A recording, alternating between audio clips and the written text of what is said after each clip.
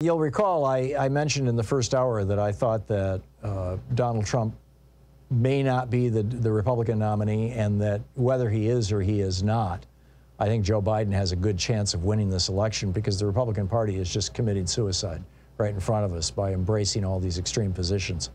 Well, a new poll was commissioned by a group called Voters Tomorrow. Uh, their Twitter handle is at Voters Tomorrow if you want to follow them.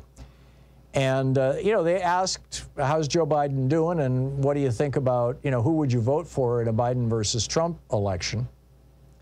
And they were asking people under 30. Now, the caveat on this, and I want to be very clear about this, the caveat on this is that in the last election, the 2022 election, voters under 30, only 30% of eligible voters under 30 showed up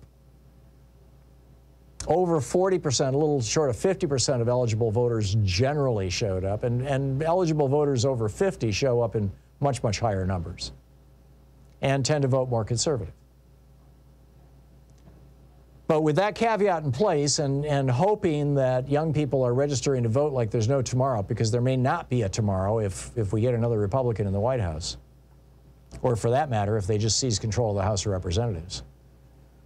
The Biden approval rating among people under 30 was 53%, which is pretty good. Then when they asked them uh, in a Trump-Biden matchup, who would you vote for? Trump only got 24% of the vote. Biden got 52%. So, you know, and Biden is trying to end student debt. He's, there's a lot of good stuff that Biden's trying to do. So, you know, we'll see where all this goes.